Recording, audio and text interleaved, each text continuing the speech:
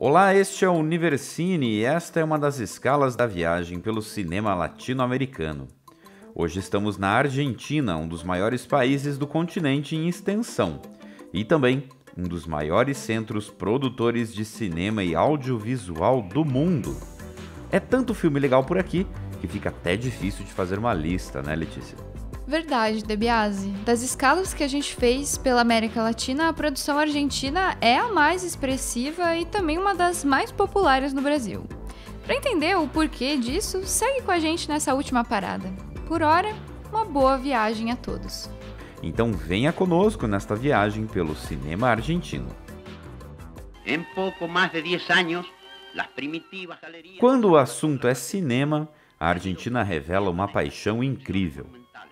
Poucos países do mundo fora dos eixos produtores principais da Europa e Estados Unidos conseguiram criar um ambiente de indústria, com um número regular de produções, estúdios, atores, atrizes, equipe técnica. Isso aconteceu na Argentina em alguns períodos da sua história. Além disso, esses filmes serviram para vender ao mundo a imagem do país portenho, seus costumes, o ritmo do tango e de uma metrópole cosmopolita. É possível dizer também, ainda que seja um pouco polêmico para nós brasileiros, que o cinema argentino é o melhor estruturado de toda a América Latina, superando qualquer mercado produtor do continente. Talvez o que a televisão alcançou por aqui seja o que o cinema realizou por lá, mas isso é história para outro programa. Justamente por ser tão rica e diversa, o exercício de realizar uma viagem cinematográfica por esse país é muito complicado. Por conta disso, encontramos vários destaques pelo caminho. Mas saiba que seria possível falar de muitos outros. Mas esse talvez seja o prazer da viagem, encontrar coisas incríveis em uma visada, mas sem esquecer que existem muitas outras. Enfim, entre tantas razões que levam a Argentina a ser um importante centro produtor de cinema na América Latina é a sua posição estratégica no continente. A capital Buenos Aires é um importante porto, no qual uma série de artistas e comerciantes desembarcaram ao longo do tempo. Eles trazem não só o cinematógrafo dos irmãos Lumière e fazem a primeira exibição de cinema do país, como são também responsáveis por apresentar o país ao mundo através da imagem em movimento. Mas não é só isso. Alguns, inclusive, realizam filmes, como é o caso de Mário Gallo, pintor italiano que emigrou para o país no início do século passado e ajudou a criar alguns dos primeiros filmes da Argentina, como La Revolución de Mayo, que conta a história do processo de independência argentina ocorrido em 1810. Este é conhecido como o primeiro filme de ficção argentino que ainda existe.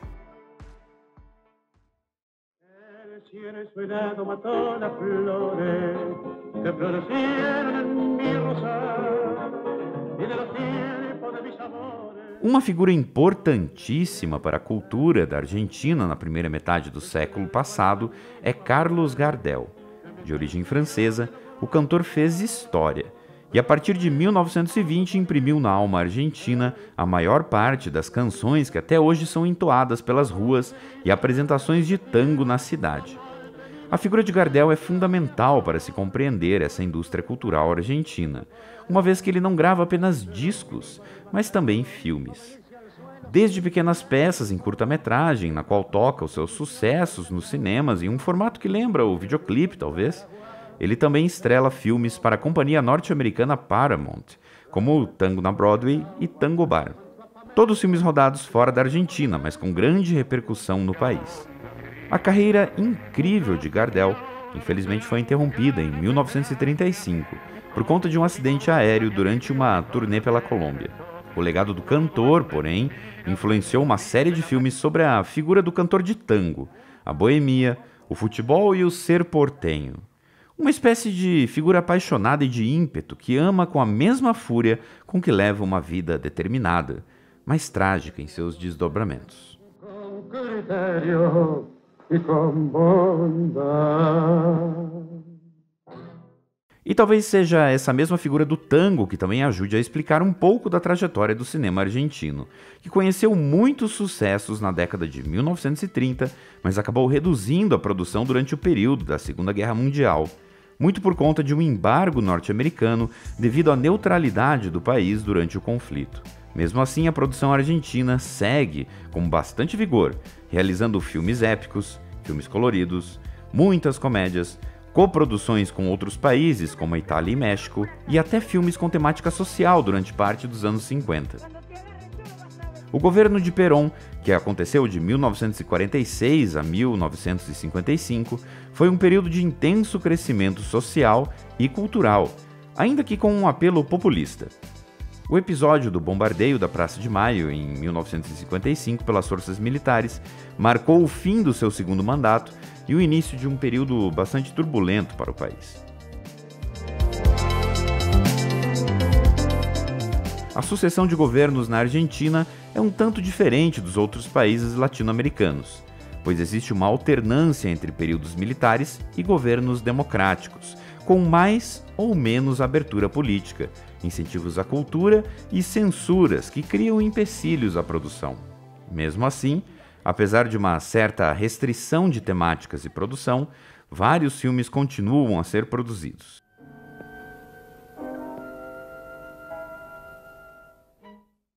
Este, por exemplo, é La Casa de Ángel, de 1957.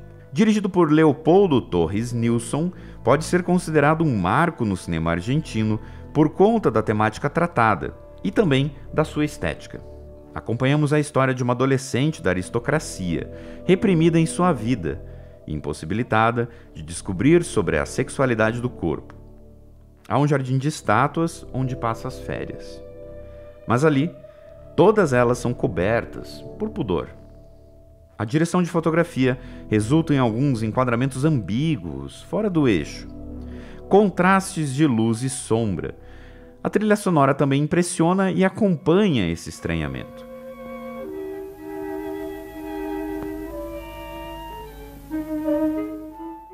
Não é a primeira vez que o cinema argentino trata de temas como esse, mas nunca antes com essa ousadia. La Casa de Ángel faz sucesso no país, mas também no exterior, obtendo ótimas críticas no Festival de Cannes daquele ano. Alguns autores de cinema dizem ser esse o filme que separa o cinema argentino antigo do novo. Um filme muito elegante e importante para a nossa cinematografia latina.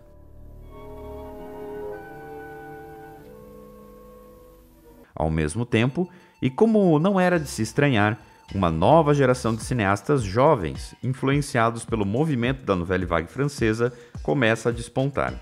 Um dos vários exemplos é Los de la Mesa 10, dirigido por Simon Feldman. Baseado em uma peça de teatro da época, narra a história de um jovem casal, suas idas e vindas, alegrias e tristezas em uma época de muitas revoluções. A direção é bastante precisa e as atuações de Maria Aurélia Bisucci e Emílio Alfaro são notáveis. Feldman e outros cineastas da época são considerados pela história como a geração de 60, que busca um cinema de crítica e discussão social e com uma produção diferente aos estúdios clássicos, com o uso de não atores e inovações na narrativa e montagem. Uma forte influência para as produções que viriam nas décadas seguintes.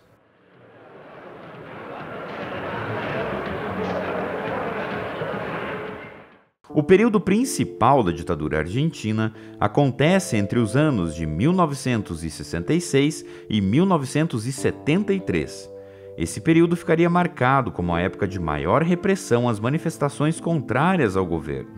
Cerca de 30 mil argentinos são sequestrados pelo governo, ao passo que cerca de outros 2 milhões e meio de cidadãos buscam exílio no exterior. Uma nova abertura política posterior permitiria eleições livres no país.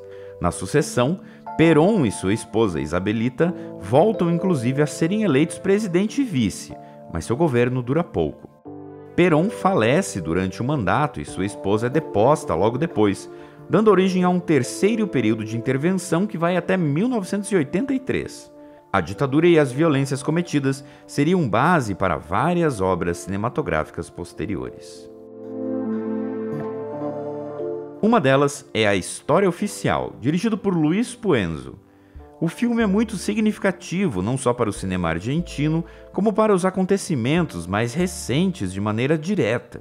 Na trama, a professora de história, Alicia, adota uma criança que foi trazida pelo seu marido Roberto.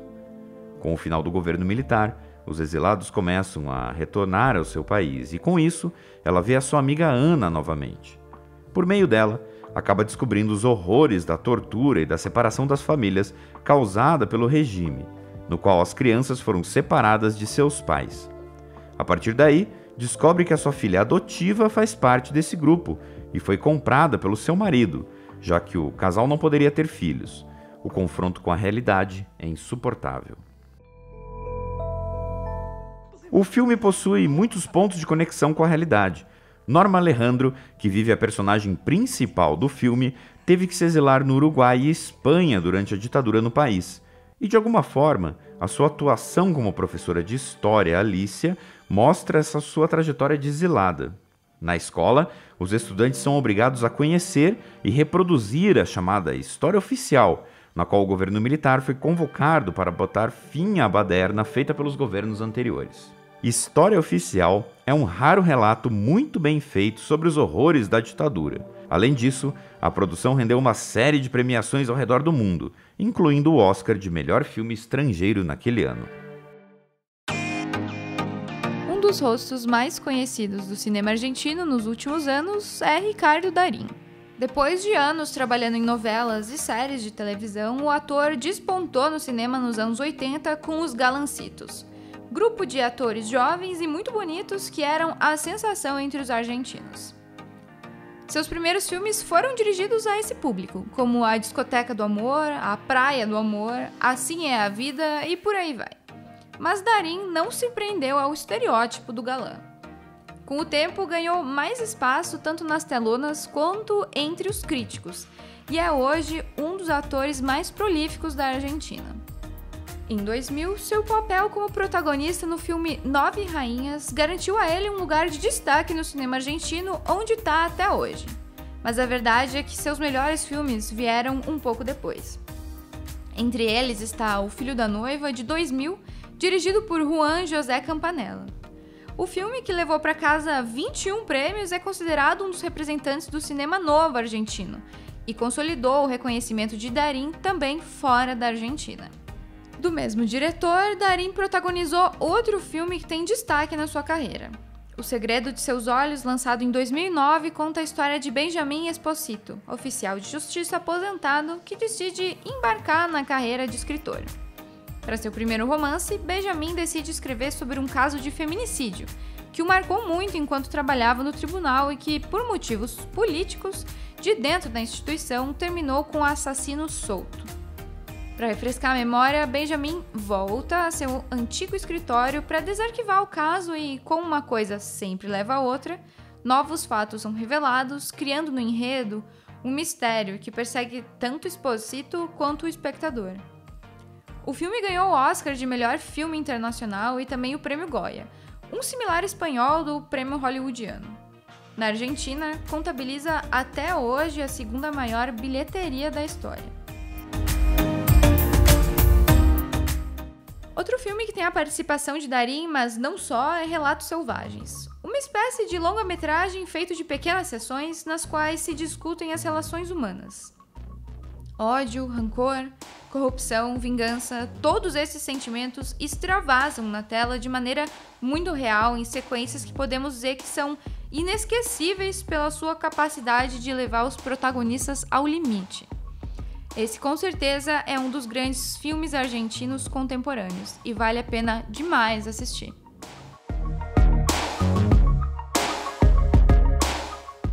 Bom, já deu para ver até aqui que o cinema argentino pode ter várias facetas.